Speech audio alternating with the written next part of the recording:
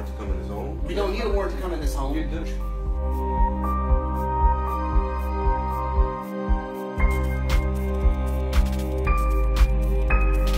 Right now, you guys are trespassing at this very moment. This is somebody's home. We're working here.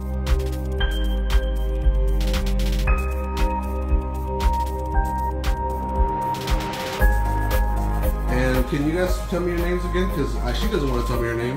Where's the homeowner? Are here now? She's on her way.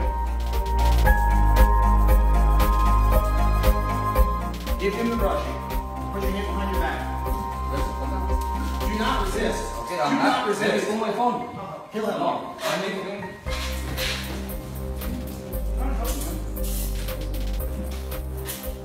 Hey,